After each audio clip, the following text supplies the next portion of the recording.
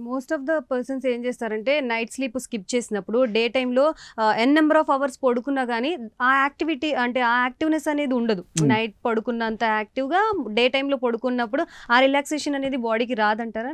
Compare to night sleep night స్లీప్కి day స్లీప్కి so ఉంటుందండి. మనం ఏంటంటే డెఫినెట్గా వాళ్ళు పడుకున్నారు నైట్ చేసేవాళ్ళు అంట బట్ హార్మోన్స్ ఏదైతే మనకు కావాల్సిందో న్యాచురల్గా రావాలి. మన ఏంటంటే హార్మోన్ ఇది మెలటిన్ అనేది నైట్ రిలీజ్ అవుతుంది. కార్టిసోల్ అనే హార్మోన్ ఇంకోటి ఉంటుంది. అది ఏంటంటే ఎర్లీ మార్నింగ్ అవర్స్లో రిలీజ్ అవుతుంది అనమాట కార్టిసోల్ ఏం చేస్తుందంటే మీ వేకప్ సైకిల్ ఇంప్రూవ్ చేస్తుంది. అంటే ఇప్పుడు సపోజ్ చెప్తానంటే నేను నైట్ పడుకుంటున్నాను మేడం.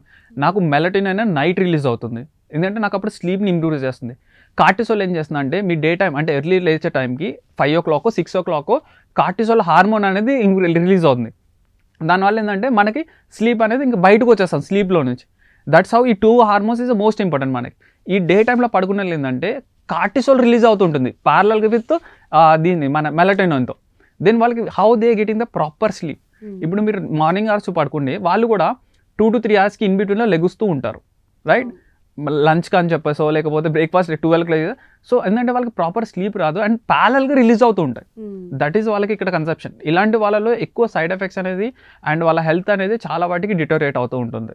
ఓకే ఇలా ఎక్సెస్ కొంతమంది నిద్రపోతూ ఉంటారు నెంబర్ ఆఫ్ అవర్స్ కొంతమంది అసలు పడుకోవడానికి నిద్రే రావట్లేదు అని అని చెప్పేసి స్లీపింగ్ పిల్స్ టైపు లేకపోతే టాబ్లెట్స్ యూస్ చేస్తూ ఉంటారు కొంతమంది డాక్టర్ సజెషన్స్తో సో అవి యూస్ చేయడం ఎంతవరకు కరెక్ట్ ఒకవేళ యూస్ చేస్తే ఎటువంటి హెల్త్ ఇష్యూస్ వచ్చే అవకాశం ఉంటుంది వాళ్ళకి కనుక ఆ బాడీకి కరెక్ట్ కాకపోతే. సో బేసిక్ ఏంటంటే ఒక పర్సన్కి eight hours of sleep is most important. Seven to eight hours sleep అంటాం. అది అందరికీ కామన్గా తెలిసిందే.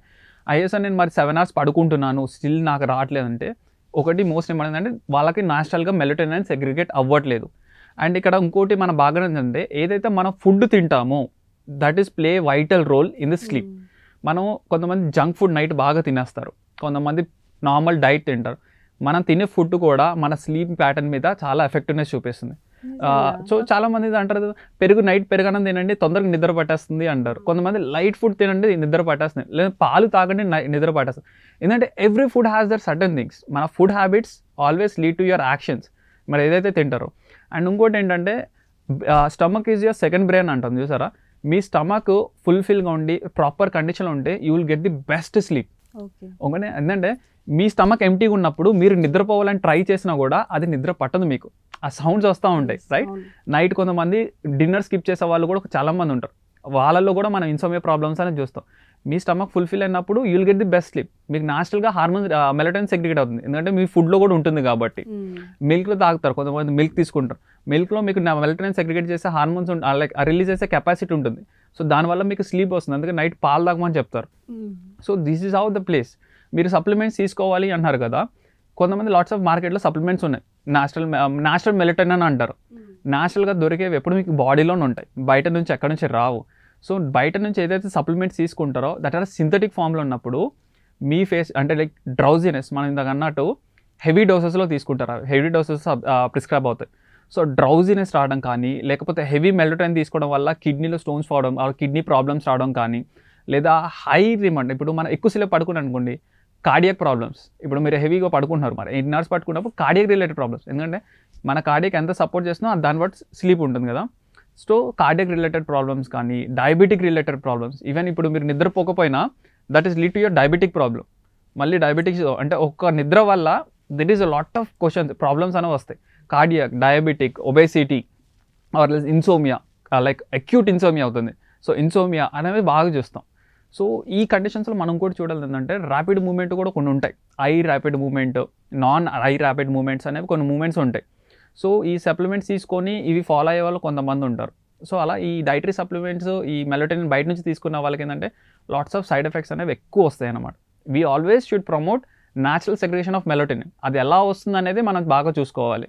దాన్నే మనం ప్రిస్క్రైబ్ ఫాలో అవ్వాలి కానీ బయట నుంచి వచ్చే వాటి మీద మనం పడకూడదు ఎప్పుడు. కొన్ని సిచ్యువేషన్స్లో మనం న్యాచురల్గా తీసుకోలేని పరిస్థితులు ఉంటాయి. కాకపోతే మనకు ఒక ప్రాపర్ స్లీప్ ఉంటే నెక్స్ట్ డే మన యాక్టివిటీ అనేది పర్ఫెక్ట్గా ఉంటుంది అని అనుకునే వాళ్ళకి అలాగే మన ఆడియన్స్ కూడా చాలామంది ఈ నిద్రలేమి సమస్యలకు సంబంధించి మనము ఒక సొల్యూషన్ ఇద్దామని ఈ కార్యక్రమానికి చేస్తున్నాం. సో మీ దగ్గర దానికి సంబంధించి ఎటువంటి సొల్యూషన్ అనేది ఉంది? యా. సో మనం అన్నట్టు there is lot of thing ఒకటి ఏంటంటే మన food is play vital role మనం అన్నాం కదా. ఫుడ్ లేకపోతే మనకి స్లీప్ అనేది చాలా వాటికి రాదు. అండ్ ఆ కన్సెప్షన్స్లో we brought one for product అంటే ఒక ప్రోడక్ట్ అనేది డెవలప్ చేసాము అదంటే మనకి న్యాచురల్గా ఈ మెలటోనిన్ హార్మోన్ ఏదైతే మన పీనల్ గ్లాండ్ నుంచి రియాక్ట్ రిలీజ్ అవుతుందో దాన్ని ఇంప్రూవ్ చేయడానికి ఇంక్రీజ్ చేయడానికి అనేది మనం ఇక్కడ మేజర్ మా కన్సెప్షన్ ఎందుకంటే వాళ్ళకి న్యాచురల్గా నిద్ర రావాలి అనేది మోస్ట్ ఇంపార్టెంట్ అండ్ ఇంకోటి ఏంటంటే మనం డిస్కస్ చేయాల్సింది అపార్ట్ ఫ్రమ్ నా ప్రోడక్ట్ కానీ ఒక కన్- ఒక థియరీ ఉందండి.